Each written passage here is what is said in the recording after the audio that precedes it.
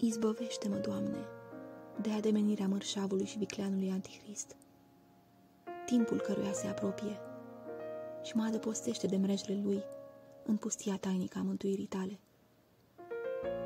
Dăm tărie și bărbăție neclintită, să mărturisesc numele Tău cel Sfânt, să nu dau îndără de frica diavolească, să nu mă lepăd de Tine, Mântuitorul și Răscumpărătorul meu, de Sfânta Ta Biserică. Doamne, dă-mi rogute ziua și noaptea, plângere și lacrimi pentru păcatele mele și fi milostiv în ceasul strașnicei tale judecăți. Amin.